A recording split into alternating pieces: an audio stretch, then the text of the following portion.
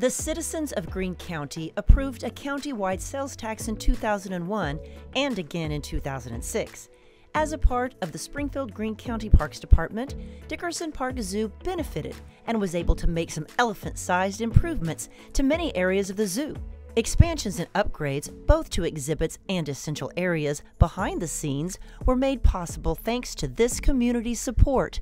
Some of the most recognizable areas included Tropical Asia, Missouri Habitats, the Colobus monkeys, the Giraffe Building, restrooms, the Tortoise House, and more. Thank you, Greene County.